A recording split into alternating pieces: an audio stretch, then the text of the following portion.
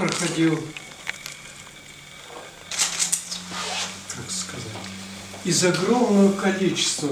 Если бы вы видели, сколько работ э, было, и так трудно было выбирать, потому что так много было интересного. Тут больше половины э, интересных здесь просто не уместило. Если умещать надо еще два таких зала, тогда было то, что... Потому что выбрали вот пять хороших, а надо одну.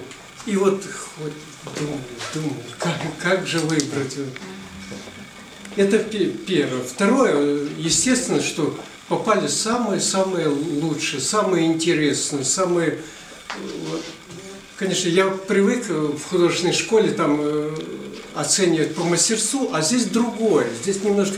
Здесь творчество души, то есть дети, не имеющие вот профессиональных знаний, вот, которые получают в художественной школе, они выражают свое э, такое душевное вот, порывы, знания и прочее. Поэтому они, как сказать, они непосредственные, они такие удивительные. Есть такие композиции, о которых никогда мы никогда и в художественной школе детям и не рассказывали, а оно у них само вот возникает и, и все.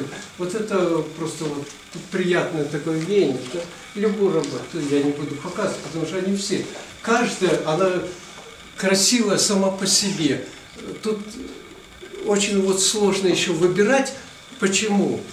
Потому что у каждого свое. То есть критерий таких нету. Вот, э, рамок. Я даже не, не, не знаю, как это сказать. Очень сложно, очень сложно.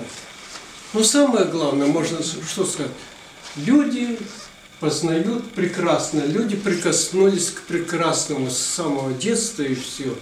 Ну а как э, теория и практика, как ученые говорят, что люди, которые соприкасаются с прекрасным, те живут дольше. Это уже даже э, доказано наукой. И даже не только те, которые делают искусство, то есть художники, музыканты, там, а, артисты и так далее, а те, кто потребляет искусство. Вот мы посмотрели выставку, порадовались, мы уже будем дольше жить. Это вот хорошо.